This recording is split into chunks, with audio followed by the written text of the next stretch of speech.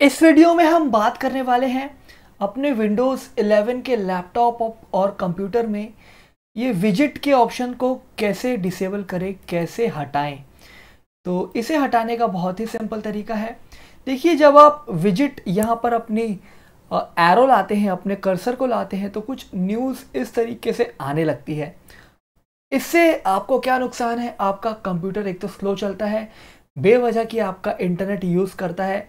और बहुत से लोगों को ये काम नहीं आता है बिल्कुल अनोइंग होता है। तो इसे हटाने के लिए सिंपल स्टार्ट बटन पे क्लिक करना है। सेटिंग्स के ऑप्शन पे क्लिक करना है। एंड यहाँ आप पर्सनलाइजेशन के ऑप्शन पे क्लिक करें। इसके बाद यहाँ पर स्टार्ट बटन पे क्लिक करें। सॉरी uh, यहाँ पर आपको टास्क बार के ऑप्शन पे क्लिक करना है। यहाँ आप देख पाएँगे विजिट्स इसे आप ऑफ़ कर दें। आप चाहें तो डायरेक्ट यहाँ पर भी विजिट्स सर्च कर सकते हैं।